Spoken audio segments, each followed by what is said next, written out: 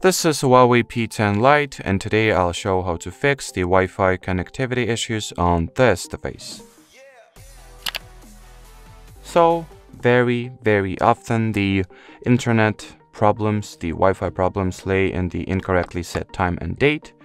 So in order to exclude those reasons, I recommend that you start the troubleshooting process by, well, enabling net network provided or automatic date and time.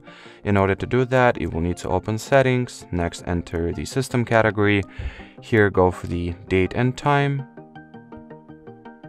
and turn on the automatic date and time toggle as well as automatic time zone switch to be sure. If that didn't help, you can try toggling the Wi-Fi option off and on. So launch settings once again, go for the wireless and networks category, then open the Wi-Fi page and toggle the switch off and on.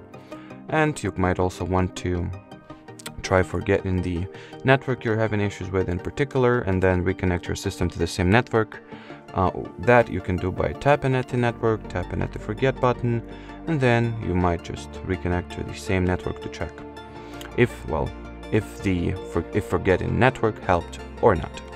And the final advice that I wanted to share in this video is that you try resetting your network settings, which you can do by once again launching settings, then you gotta enter the system category, here go for the reset, reset or network settings reset, and then just continue and finish this process.